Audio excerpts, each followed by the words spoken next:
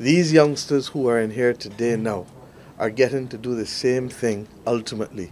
But their first step in the water, thanks to you, Joel, is with respect to quality assurance.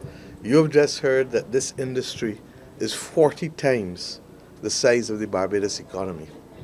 This industry is 40 times the size of the Barbados economy. I say that for you to begin to get context. It meets us where we want to be met. The youngsters who are here, some have degrees, some don't. What matters is competency. I'm very proud to have been instrumental in setting this company up. I didn't want to be just another visitor to Barbados, enjoying the sunshine and the hospitality, the good food and the rum and the beaches. I wanted to bring some of the prosperity of the video games industry, a fantastic industry, a $200 billion industry, to Barbados.